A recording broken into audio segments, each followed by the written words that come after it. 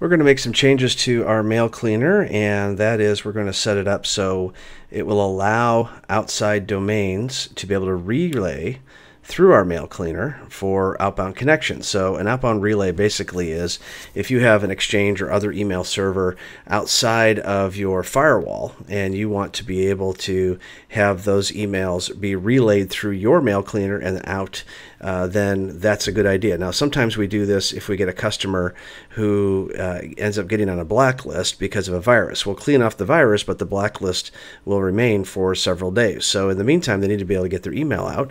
So what what we do is we set up a, an outbound relay. Now, first what we do is we open up port 25 from their particular IP address, and then we click on SMTP and then connection control.